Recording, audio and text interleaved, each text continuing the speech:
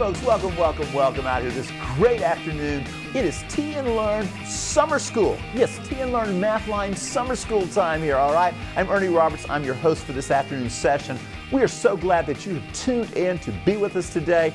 And, you know, it's just part of summer school. We're going to have a little bit of fun. We're going to look at some apps. We're going to look at some good things today. But you know what? You make it rock always. We say that. But you don't need to call in today. But what you do need to do is get that pencil, get that paper. Let's write some problems down. And you know what? Let's have some fun. Sit back, relax, and let's do some good math. What's our topic today, guys? What are we going to be looking at? We are, how about some geometry apps? Basically, apps, applications. We've been looking at radicals now we're going to apply a few things, all right? We want you to realize that they're not just these crazy things that we can do to numbers, all right? Which we can do, we can do that. But they do have some rationality out there and they are used. Notice I said rationality because a lot of times they come out irrational, right? So let's take a look at our first problem and see where we're going to go in this problem, all right? It says the area of the circle is 45 pi. Find the measure of the radius in radical form and to the nearest tenth. I'm even going to go a little further on that radical form. We're going to make it the simplest radical form, all right? We can leave it as a radical, but we want to simplify. We want to always simplify. Keep that in your mind, folks. Always when you see a radical, can we make it more simple or simplified in this case? So let's see what we got. We got a formula for the area of a circle. We all know that. If we don't, we're going to learn it right now. All right. Area of a circle is pi r squared. All right, that's our formula. Pi is basically another irrational number. Wow, there are a lot of those out there if you haven't figured that out by now. There are quite a few out there. And we tend to use it as about 3.14, 3 and 1400. Sometimes we add another decimal place to it and such. Sometimes we just call it 3.1 or 3. But uh, that are, those are approximations. This pi actually rambles on and on and on and on, on and on. Okay, sort of like I'm doing right now, it? Yeah, yeah. So what we're going to do is we're going to place this 45 pi in the place of area, all right? Because that's what's going on here. We're putting our 45 pi right there in place of our big A. We're going to keep pi r squared to the right, okay? Because that's our formula. That's our formula. Keep in mind, we are looking to find out what is this r equal to. We've got numbers, numbers, numbers, some rational, some irrational, all right? We've got them all hanging out here together. We're going to see how can we get r by itself. That's the game plan here. So what I see is we need to divide by pi. So let's do it. Let's divide this side by pi. If you divide the right by pi, guess what we've got to divide by on the left. So let's do that also. Oh, division property of equality, We've got to love it. It's always there, it's always there. The pi's cancel, my friends. They cancel on both sides. So, hey, we lost some irrational numbers there. That always makes life a little nicer. However, we have a 45 and an r squared. We're about to create another irrational number, all right? Because the square root of 45 is coming our way. Say, Ernie, where did the square root of 45 come from? You just kind of jumped a little, didn't you? We're going to have to square root r squared to get to r, all right? And if we square root the right, we're going to square root also on the left. Now, I like for y'all to be able to kind of see where problems are going to go. That's why I kind of jump occasionally. But I like to come back and I'll say, here's what we did. Here's what we did. So you say, ah, that's what we did. Now, remember what I said. You say, did you say something? I said a lot of things, haven't I? Let's look at this root of 45, the square root of 45 creature we've got here, all right? It's irrational. I cannot come out with a number times itself. Now, the factors of 45 are 1 and 45, 3 and 15, 5 and 9. None of those are a number times itself. None of those represent a number times itself. So the square root of 45 is not going to be found with just nice little integers or rational numbers multiplied together. We are going to need to get the same number. It's going to be very irrational if we try to use the decimal form. We'll get there in just a minute. Right now, let's go ahead and simplify this thing, all right? And let's bring it right over here. We've got the square root of 45, which I mentioned some factors. I mentioned 45 and 1. I mentioned 3 and 15, 9 and 5. The best combination to simplify this radical is 9 and 5, all right, because there's a perfect square lurking there. And you say, well, Ernie, one's a perfect square. It doesn't help you any. It just lets you go right back where you started, all right? But 9 and 5 allow us to really simplify this. Let me see if I can get the right number in there. I'm already thinking ahead to square roots, folks. And what is the square root of 9? It's going to be 3. And here we go. 3 times the square root of 5. That is our radical form. That is simplified. This is a radical also, yes. But this is our simplified form. Again, we came from 9 times 5, which gave us this 3 times the square root of 5, all right? Now, let's check it out and let's see what that is in a decimal form. I don't even dare to guesstimate where it is, all right? Let's take it out here. Let's see. We've got, wow, how about it? We've got 3 times the square root. Find your square root button. It's right under the, the x squared button there, folks. And we put a 5 in there and we close that parenthesis. Be sure you do close it. And let's see where we're going. Enter. It's a little bit, um, looks like about almost six and three quarters and a little bit more than six and two thirds. Again, it's irrational. You see all those digits rambling on and on, and they still aren't finished. There's no pattern that's come in on that. If you notice all these digits, they just keep rambling on. We said we would round to the nearest tenth. So there is our point right there. We're going to cut everyone else off, all right? Everything beyond to the right of that seven, and that as approximate value, and by the way, we're going to use this number here because we're rounding things off, is going to be around 6 and 7 tenths. That's our rounded off version, okay? And again, this is your radius. You're thinking of it, as I said, it's somewhere basically between 6 and 2 thirds and 6 and 3 fourths in terms of length if you were playing with your rulers, okay? So there's your story. There's your information. Simplest radical form, also to the nearest tenth. Basically, different ways to say the same number. Just remember that nearest tenth is just that. It's an approximation. It is not the exact root of 45, but it's pretty close, pretty close. All right, let's take a look at our next problem coming up here. This one talks about a square, and we think of a square as a quadrilateral with all four sides the same length. We call them congruent. congruent. In this case, the area, the space inside, is 50 square inches. Now, again, I start thinking about 50, and I think of the number 50. I can't think of a number exactly times itself is going to give me 50. All right? In other words, some people say, well, you could use 25, couldn't you? Well, 25 times 25, that actually takes us all the way up to 625. So we're not looking for what we add, we're looking for something to multiply. We're looking for multiplication.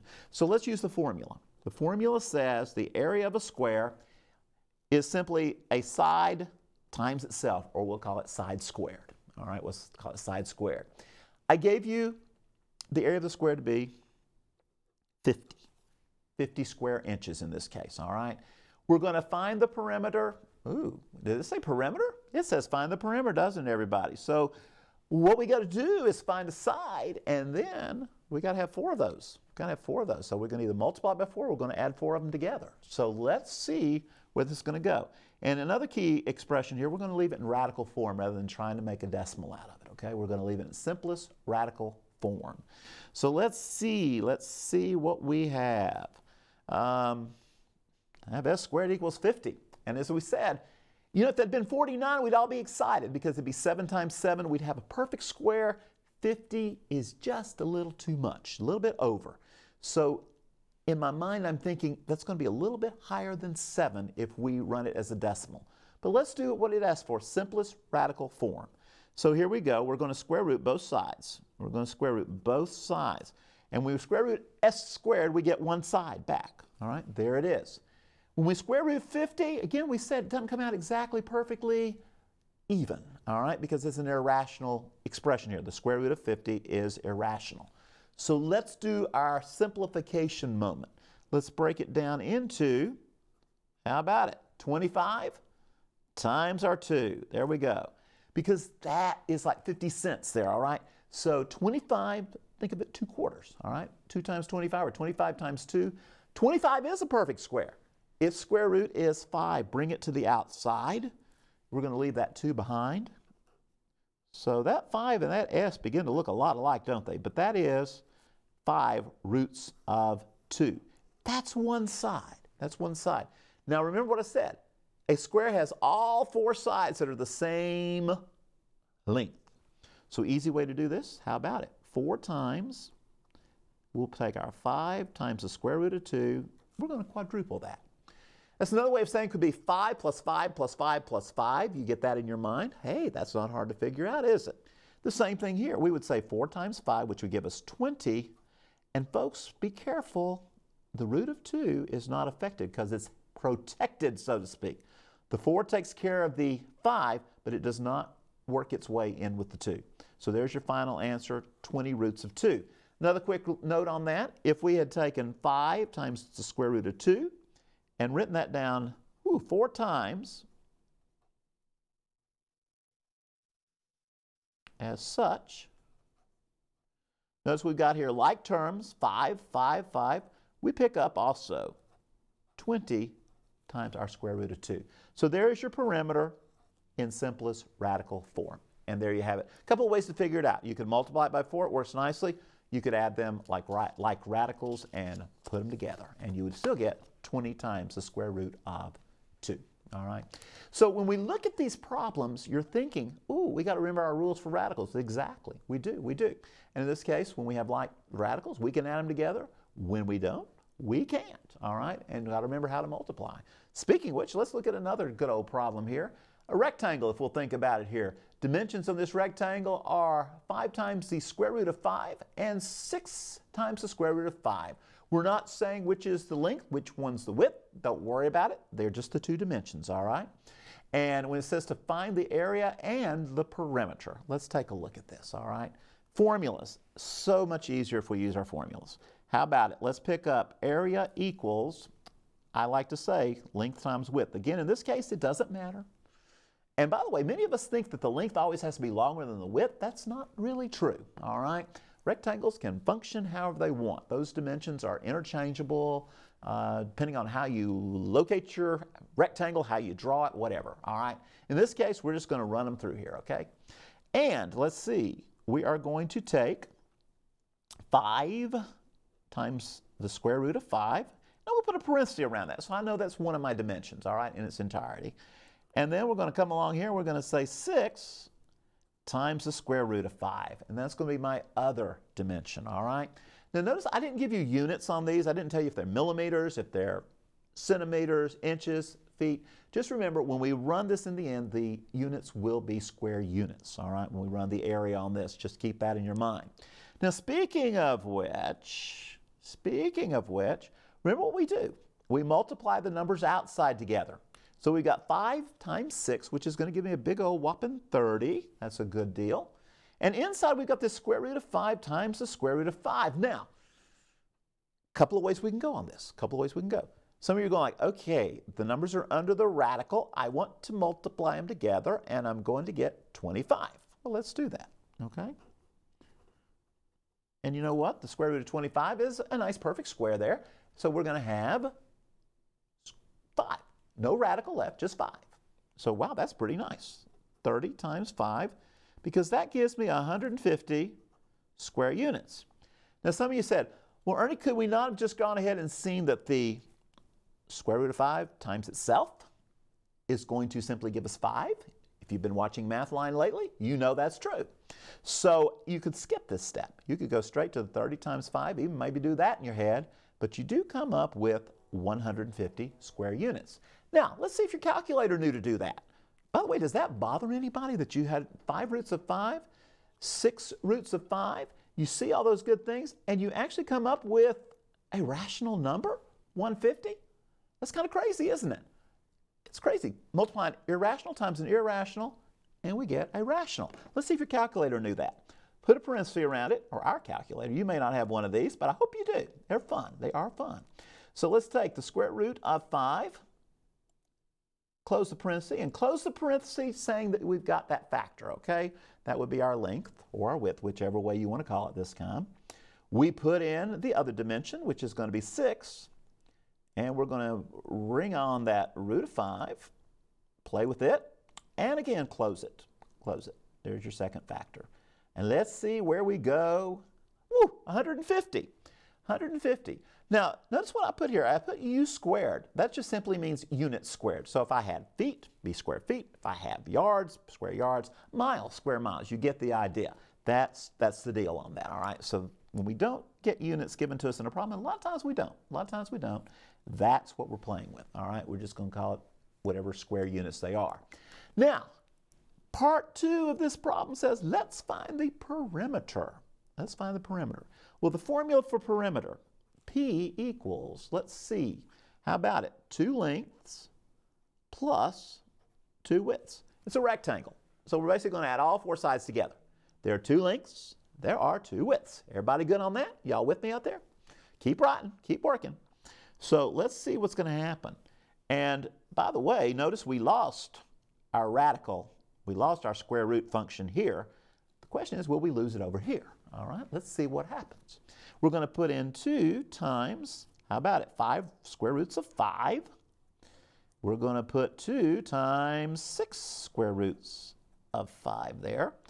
And you know we're going to have? We're going to have this situation where you know we got to multiply 2 times 5, which is giving us 10, but leave the square root of 5 there. We'll keep the square root of 5 right there, okay? It doesn't change. Move along down beyond it here, we've got 12, and again, the square root of 5 hangs on for dear life. And our final value looks like there's going to be 22 square roots of 5. That's your perimeter. Then you say, Ernie, what is that as a, as a, you know, decimal? Well, let's see. Let's clear off my calculator, and we will get you a decimal out of that, all right? Those of you who like to know what it is in nice decimal terms, and I'll be honest with you, if you're looking for a length or a width or a perimeter, you, you tend to want it into a decimal form. All right, so let's see, we're going to take it square root, 5, close it, and let's see what we get. Wow, quite a big number there, almost 49 units. Now that's not square units, people. That's not square units. You're going like, wow, that's almost like 7 squared. Well, it actually looks like it's close to it, right? But remember, this is linear measurement. This is as you travel around. So this is how much space you would go around. So in this case, if it were feet, you'd be walking around a rectangle of about 49 feet, okay? If it were miles, it's a lot of rectangle. It's a lot of rectangle, all right? So again, those units are not squared on the perimeter, but they are on the area. So be sure you keep that straight. Keep that straight. All right, let's take a look at our next problem here. This one is back to our rectangle friend here. It says the diagonal of a rectangle is 30 millimeters. And the rectangle's length is 24 millimeters. What's the width of the rectangle? All right, what we've got going on here, what we've got going on here, if we create a little rectangle here, let me give you one. There's our rectangle, pretty close. Remember, they have all these lovely right angles. And according to this, we already have a diagonal working through there. There it goes, connecting. That's our diagonal there. And according to this, the diagonal is 30. And it says our length is 24. I'm going to let our length be the horizontal moment here, all right? The question is, what is the width? What is this little guy out here? And then you say, what does this have to do with square roots? I don't see any radicals there. You could. There could very well be some. And on down the road, there might be on some of our math line problems, okay? But for right now, we're looking at this, hmm, what do we do? What do we do in this case? Well, what we've done, we've created a right triangle. Now, some of you are saying, well, Ernie, could we have done it with the 24 here? Sure. We create two right triangles. They're going to be the same length. In this case, they're going to be the same width. They're going to be the same measurement. All right, same number is going to fit in there. So let's see what we're going to do. We're going to use our good old friend you know, the one named after Pythagoras. Now you got it now, right? We're going to use the Pythagorean theorem to solve this out. Because it's a right triangle, and we know two sides, we can find the third side very easily. So let's do it. We've got w squared plus, all right, where are we going? 24, exactly. 24 squared equals to our good old friend 30 squared, all right? Now, in looking at this, in looking at this, we have 24 squared. You know, I love to make my students learn their perfect squares, but I usually don't take them all the way up to 24. Usually up to 20 is where I go, so let's see what that does for us. 24 squared gives us 576. I thought that was what it was going to be. Now 30 squared, we can do that in our head. 30 times 30 gives us 900. Remember, add that extra Zero. Don't put 90 out there. You'll have some strange stuff, that's for sure. But let's see. We want to figure out what is, and I'm going to use the calculator just to make sure we don't make a mistake today. How about that? It's a Friday and we don't want to make mistakes, do we? Uh, we're going to subtract that 576 from 900 and see what we have left over. Nice number. That's what I was hoping for. You say, Ernie, why do you say it's a nice number? That's a big number, isn't it? Actually, it's a perfect square.